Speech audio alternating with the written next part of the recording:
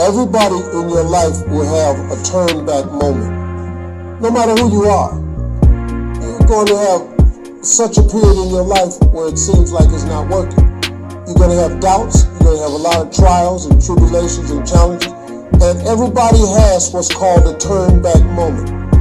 You always have a moment in your life where the direction you're going, you will have to make a decision to keep going or you turn back. Sad thing is, the average person turns back.